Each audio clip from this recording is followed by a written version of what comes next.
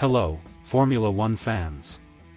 It's time for another episode of Pit Stop News, bringing you the latest news from the most exciting category in motorsport. And today's hot news is about Audi, which aims to start engine tests for Formula One by the end of this year, with a possible entry into the category in 2025. According to the article published on motorsport.com, Audi is developing a V6 turbo engine for Formula One and has already started bench tests at its factory in Neuburg.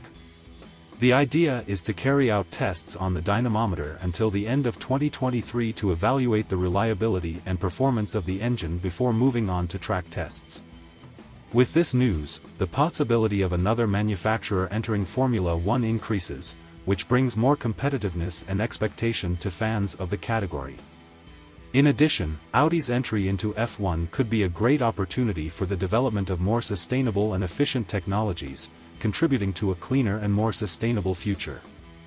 So, what do you think about this news? Leave your opinion in the comments and don't forget to like the video, share it with friends, and subscribe to our channel to stay up to date with all the latest news from Formula One.